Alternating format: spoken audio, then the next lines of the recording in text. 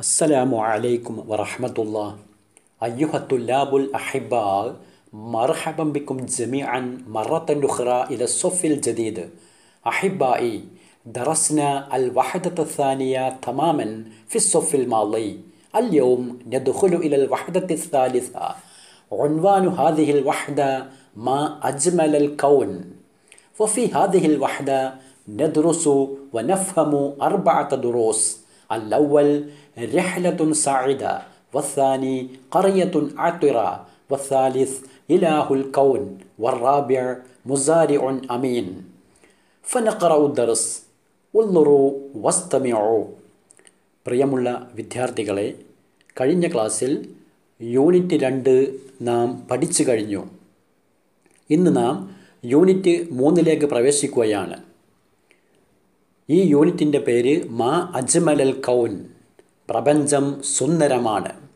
കൗന് എന്ന് പറഞ്ഞാൽ പ്രപഞ്ചം വേൾഡ് അജ്മൽ ഏറ്റവും ഭംഗിയുള്ളത്.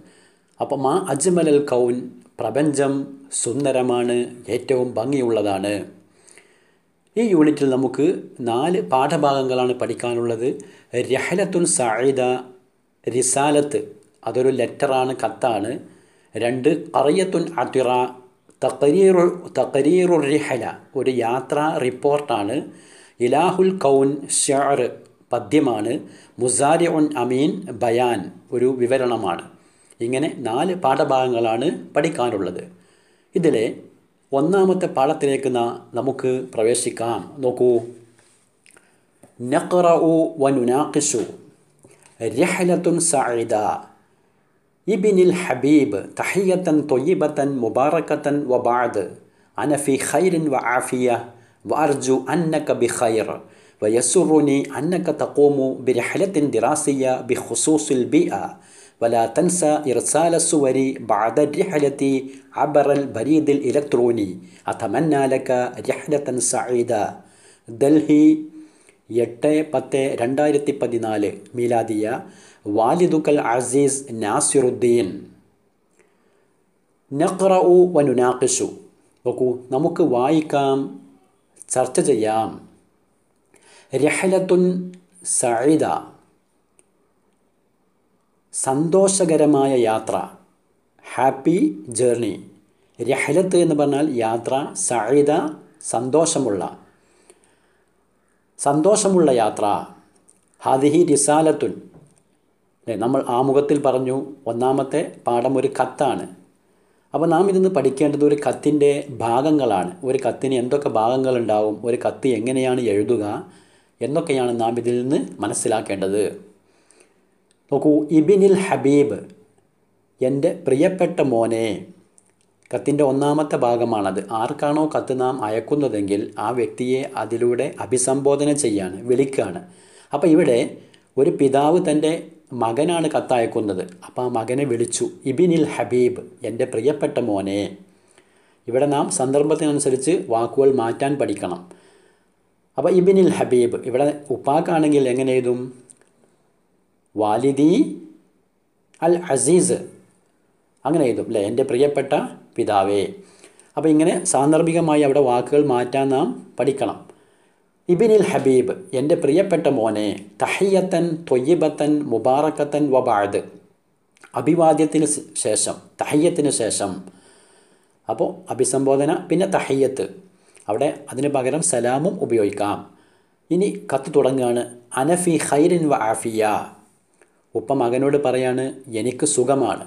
അനഫി ഹൈറിൻ വ ആഫിയത്തിൻ. എനിക്ക് ആ സുഖമാണ് ആരോഗ്യവും ആ നന്മയുമുണ്ട്.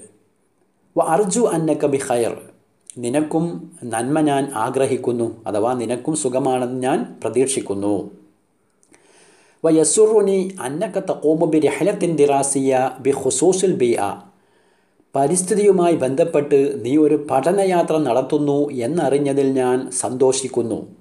എന്നാണ് വാചകത്തിന്റെ ഒന്നിച്ചർത്ഥം. വ യസുറുനി. സർറ യസുറു എന്ന് പറഞ്ഞാൽ സന്തോഷിക്കുന്നു. അപ്പോൾ യസുറുനി ഞാൻ സന്തോഷിക്കുന്നു. അന്നക്ക തക്കോമു നീ നടത്തുന്നു. ബി രഹലത്തിൻ ദിറാസിയ. രഹലത്തും ദിറാസിന്റെ അർത്ഥം എന്താണ്? Study tour പഠനയാത്ര. എന്തുമായി ബന്ധപ്പെട്ട്? ബി ഹുസൂസിൽ ബിയ പരിസ്ഥിതിയുമായി ബന്ധപ്പെട്ട്. അപ്പോൾ പ്രകൃതിയെപ്പറ്റി പഠിക്കാനും പരിസ്ഥിതിയിലെ കാര്യങ്ങളൊക്കെ മനസ്സിലാക്കാനും നീ ഒരു പഠനയാത്ര പോകുന്നു പോകുന്നു എന്നറിഞ്ഞതിൽ ഞാൻ വളരെയധികം സന്തോഷിക്കുന്നു. ഇനി വലാ തൻസ ഇർസാല സുവരി നീ ഫോട്ടോസ് അയച്ചു തരാൻ മറക്കരുത് വലാ തൻസ നസ്യ യൻസ എന്ന് പറഞ്ഞ അർത്ഥം മറന്നു എന്നാണ്. അപ്പോൾ വലാ തൻസ നീ മറക്കരുത് ഇർസാല സുവരി ഫോട്ടോകൾ അയച്ചു തരാൻ ഇർസാൽ അയക്കുക ബാദർ രഹലത്തി യാത്രയ്ക്ക് ശേഷം അബറൽ ബരീദിൽ ഇലക്ട്രോനി അൽ ബരീദുൽ ഇലക്ട്രോണി എന്താണ് അർത്ഥം? ഇ മെയിൽ എന്നാണ് ഇമെയിൽ. അബർ എന്ന് പറഞ്ഞാൽ മുഖേന അതിലൂടെ എന്ന് അപ്പോൾ ഇമെയിൽ മുഖേന യാത്രയ്ക്ക് ശേഷം നീ ഫോട്ടോകൾ അയച്ചു തരാൻ മറക്കരുത്. അത്തമന്നാലക്ക രഹലത്തൻ സായുധ നിനക്ക് സന്തോഷകരമായ സന്തോഷപ്രദമായ ഒരു യാത്ര ഞാൻ ആശംസിക്കുന്നു. നിന്റെ യാത്ര സുഖപ്രദം സുഖപ്രദമാവട്ടെ എന്ന് ഞാൻ ആശംസിക്കുന്നു. അതാണ് നമ്മൾ ഹെഡിങ് കൊടുത്തത്. റിഹലത്തും സായിദ അല്ലെ? ഹാപ്പി ജേർണി സന്തോഷകരമായ യാത്ര. ഇനി കത്ത് അവസാനിപ്പിച്ചു. അത് കഴിഞ്ഞാൽ എന്താണ്? രണ്ട് ഭാഗത്ത് എഴുതേണ്ടത്. ആദ്യം വലത് ഭാഗത്തായിട്ട് അറബിയിൽ എഴുതുമ്പോൾ പ്ലേസ് കൊടുക്കണം. മക്കാൻ ഡൽഹി. അപ്പോൾ ഈ കത്ത് പിതാവ് എഴുതുന്നത് ഡൽഹിയിൽ നിന്നാണ്. ഡൽഹി അന്നത്തെ ഡേറ്റ് കൊടുത്തു. എട്ട് പത്ത് രണ്ടായിരത്തി പതിനാല്. എട്ട് ഡേറ്റ് പത്ത് എന്നുള്ളത് മാസം അല്ലേ? ഒക്ടോബർ രണ്ടായിരത്തി പതിനാല് മീലാദിയ. അതിന് നേരെ ഇടത് ഭാഗത്തായിട്ട് എന്ത് കൊടുക്കണം? കത്തെഴുതുന്ന ആളുടെ ബന്ധവും പേരും കൊടുക്കണം. എന്താ അവിടെ കൊടുത്ത് വാലിദുക്കൽ അസീസ് അല്ലേ? കത്തെഴുതുന്നത് പിതാവാണ്. അപ്പം നിന്റെ പ്രിയപ്പെട്ട പിതാവ് നാസിറുദ്ദീൻ. ഉപ്പയുടെ പേരെന്താണ്? നാസിറുദ്ദീൻ. അപ്പോൾ ഇത് ഇതിൽ നിന്ന് നിങ്ങൾക്കൊരു കത്തിന്റെ മാതൃക മനസ്സിലായിട്ടുണ്ടാവും. അതാണ് നമ്മൾ ഇന്ന് പ്രധാനമായും പഠിക്കേണ്ടത്. അപ്പോൾ ഒരു റിസാലത്ത് ഒരു ലെറ്റർ എഴുതുമ്പോൾ ആദ്യം ആ കത്ത് ആർക്കാണോ അയക്കുന്നതെങ്കിൽ അവർ അവർ അവനെ എന്തു ചെയ്യണം? അഭിസംബോധന ചെയ്യണം. ഇബിനിൽ ഹബീബ് വാലിദി അൽ അസീസ് ഉമ്മിൽ ഹബീബ തുടങ്ങി എന്താണ്? ഇങ്ങനെ അഭിസംബോധന ചെയ്യണം. പിന്നെ തഹയ്യത്ത് അഭിവാ അഭിവാദ്യത്തിന്റെ വാക്ക് അത് സലാമോ അല്ലെങ്കിൽ തഹയ്യത്തും തൊയ്യബ മുബാറക്ക വബാദ് ഇങ്ങനെ ഉപയോഗിക്കാം. പിന്നെ നമ്മൾ ഉദ്ദേശിക്കുന്ന കാര്യം എന്താണെങ്കിൽ ആ ലെറ്റർ ആ കത്ത് നാം എഴുതുന്നു. കത്ത് എഴുതി കഴിഞ്ഞാൽ താഴെയായിട്ട് വലതുഭാഗത്ത് അറബിയിൽ എന്താണ് മക്കാന് താരിഖ് കൊടുക്കണം. സ്ഥലം ഡേറ്റ് അതിന് നേരെ ഇടത് ഭാഗത്തായിട്ട് കത്തെഴുതുന്ന ആളുടെ പേരും ആ ബന്ധവും അല്ലേ വാലിദുക്കൽ അസീസ്. ഇനി നമ്മളോട് ഉപ്പാക്ക് മറുപടി കത്ത് എഴുതാൻ പറയുമ്പോൾ ഇവിടെ എന്താണ് എഴുതുക? വാലിദുക്കൽ അസീസ് എന്നുള്ളിടത്ത് ഇബിനുക്ക എന്നാണ് എഴുതുക അല്ലെ? നിങ്ങളുടെ മകൻ ഇബിനുക്കൽ ഹബീബ് നിങ്ങളുടെ പ്രിയപ്പെട്ട മകൻ എന്നിട്ട് കുട്ടിയുടെ പേരെഴുതണം. മനസ്സിലായല്ലോ? ഇതിന് താഴെ ചില ചോദ്യങ്ങളുണ്ടാവും. നോക്കൂ. അയ്യ മക്കാനിൻ തുരീദു ലി രഹലത്തിൻ ദിറാസിയ. നീ പഠനയാത്രക്ക് ഏത് സ്ഥലമാണ് ഉദ്ദേശിക്കുന്നത്? അല്ലേ? ഈ കുട്ടി ഇപ്പോൾ പരിസ്ഥിതിയുമായി ബന്ധപ്പെട്ട യാത്ര നടത്താനാണ് ഉദ്ദേശിക്കുന്നത് അപ്പോൾ അയ്യ മക്കാനിൻ ഏത് സ്ഥലമാണ് തുരീദു നീ ഉദ്ദേശിക്കുന്നത്? ലി രഹലത്തിൻ ദിറാസിയ ഒരു സ്റ്റഡി ടൂറിന് ഒരു പഠനയാത്രക്ക്. അപ്പോൾ നമുക്ക് ഇഷ്ടമുള്ള സ്ഥലം ഏതാ? രണ്ട് ലിമാദ സോറൽ വാലിദു മസ്റൂറൻ ബിരിഹലത്ത് ഇബിനിഹി. തന്റെ മകന്റെ യാത്ര കൊണ്ട് പിതാവ് സന്തോഷിക്കാൻ കാരണമെന്ത്?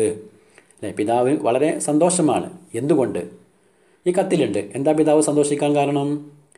അതെ അല്ലേ ബി ഹുസൂസുൽ ബി ആണല്ലോ അതൊരു പരിസ്ഥിതിയുമായി ബന്ധപ്പെട്ട യാത്രയാണ്.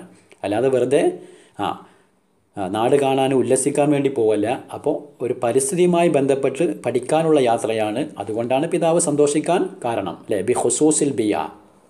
ഇനി അയ്യ മനാ മനാലിറ തുഫല്ലു ഫിർ റിഹലാത്തി യാത്രയിൽ നീ ഏത് സൈറ്റുകളാണ് തിരഞ്ഞെടുക്കുക? കാണാൻ കറിയത്തൻ അം മദീന. പട്ടണമാണോ? അതോ ഗ്രാമമാണോ? കറിയത്ത് എന്ന് പറഞ്ഞാൽ ഗ്രാമം മദീന എന്ന് പറഞ്ഞാൽ സിറ്റി പട്ടണം. അപ്പോൾ നീ പട്ടണത്തിലെ കാഴ്ചകളാണോ അതോ അതോ ഗ്രാമത്തിലെ കാഴ്ചകളാണോ നീ യാത്രയ്ക്ക് വേണ്ടി തിരഞ്ഞെടുക്കുക? നിങ്ങൾക്ക് ഇഷ്ടമുള്ളത് എഴുതാം അല്ലേ? അപ്പോൾ ഗ്രാമത്തിലെ കാഴ്ചകളാണെങ്കിൽ മനാലിറ കറിയ അല്ലേ? ഗ്രാമത്തിലെ സൈറ്റുകളാണ് തിരഞ്ഞെടുക്കുക. അല്ല പട്ടണത്തിലെ കാഴ്ചകളാണെങ്കിൽ മനാലിറ മദീന അല്ലേ? അവിടുത്തെ ബിൽഡിങ്ങും റോഡും ഇതൊക്കെ കാണാൻ ആഗ്രഹിക്കുന്നവർക്ക് അങ്ങനെയും എഴുതാം.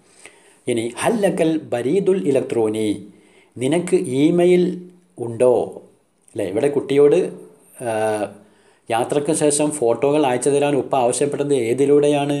അതെ അൽ ബരീദുൽ ഇലക്ട്രോണി അല്ലെ ഇമെയിലിലൂടെയാണ്.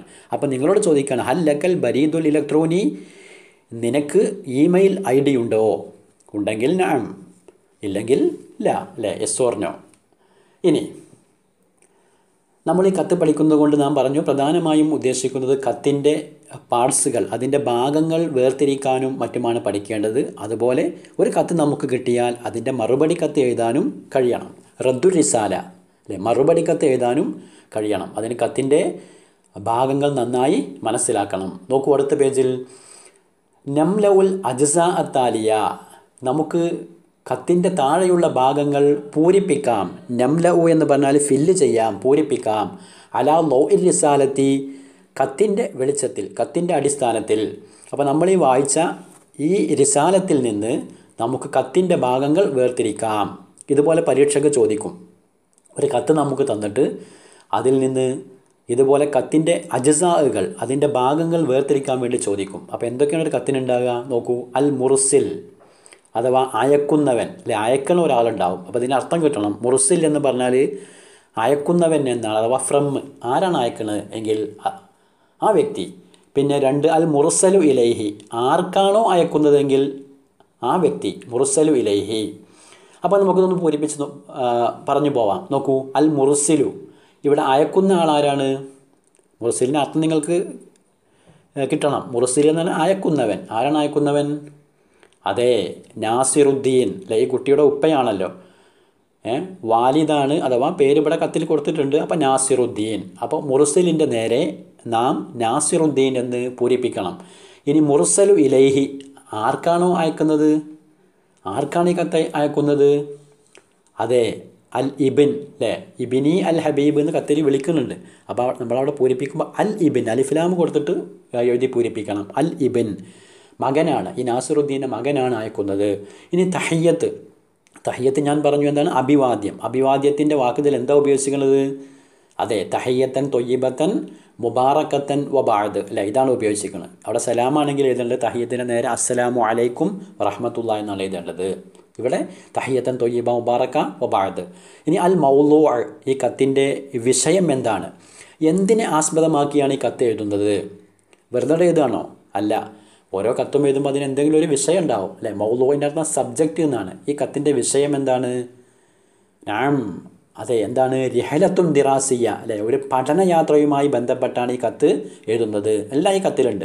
അപ്പോൾ അവിടെ നമ്മൾ പൂരിപ്പിക്കേണ്ടത് എന്താണ്? മൗലോവിന്റെ നേരെ രഹലത്തുൻ ദിറാസിയ അല്ലേ? സ്റ്റഡി ടൂർ പഠനയാത്രയാണ് ഈ കത്തിന്റെ വിഷയം. ഇനി അൽ ഹാത്തിമത്ത് ഹാത്തിമത്ത് എന്ന് പറഞ്ഞാൽ അതിന്റെ എൻഡ് അതിന്റെ അവസാന ഭാഗം ഈ കത്തിന്റെ അവസാന ഭാഗം എന്തുകൊണ്ടാണ് അവസാനിപ്പിക്കുന്നത്? എന്ന് പറഞ്ഞാൽ ആ തമന്നാലൊക്കെ രഹലത്തം സായിദ എന്നാണ് അവിടെ വാചകം അല്ലേ? നിനക്ക് സന്തോഷകരമായ ഒരു യാത്ര ഞാൻ ആശംസിക്കുന്നു. അഥവാ കലിമത്തു തഹനിയ എന്ന് എഴുതിയാൽ മതി. കലിമത്തു തഹനിയ അല്ലേ? ഒരു ആശംസയുടെ വാക്കാണ് ഈ കത്തിന്റെ എന്ത്? പൂർത്തീകരണം അല്ലേ? അതിന്റെ അവസാനം.